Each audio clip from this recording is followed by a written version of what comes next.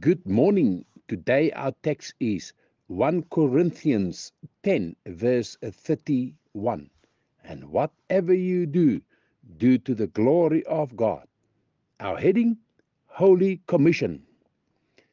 Feel the sacred energy of the Holy Spirit leading us in the prescribed path.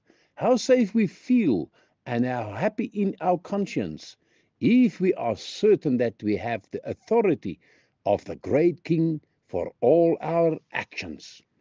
When a Christian can say concerning any course of conduct, I'm bidden to do this by Christ Jesus my Lord, I can find chapter and verse to authorize my acts. When he can feel that he is working for Christ and not for himself, with a single eye to the glory of God, and not with sinister aims and selfish motives, then he treads as on a rock and defiles the censures of his enemies.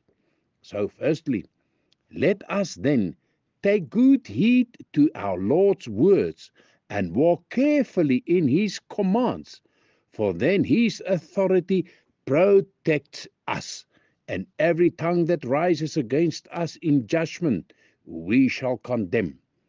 This rule of acting under the authority of Christ is applicable in all emphatic sense to those who are called to special service in the kingdom of God.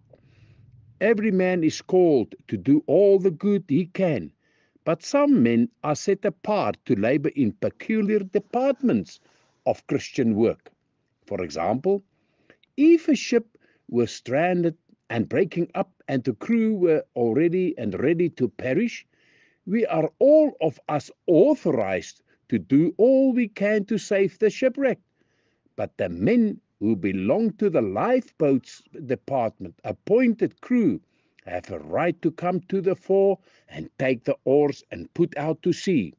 They are authorized to lead the way in daring and danger.